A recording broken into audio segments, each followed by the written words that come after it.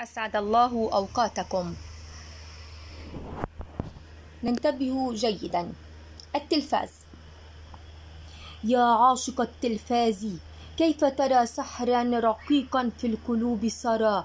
ألوانه روض يفوح شذا يروي الحكايا يبدع الصور أخباره آفاقه اتسعت تثكي المشاعر وهو ما شعر. يرضي المآرب في تنوعه يحيي النفوس ويبعد الضجر. هو شاعر العصر الحديث غدا لكنه هدر الذي هدر.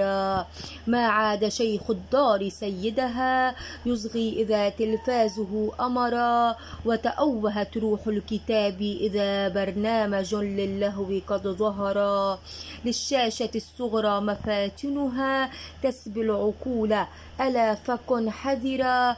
فإذا انتقيت الطيب ترشفه وحفظت وقتك زاهرا نضرا.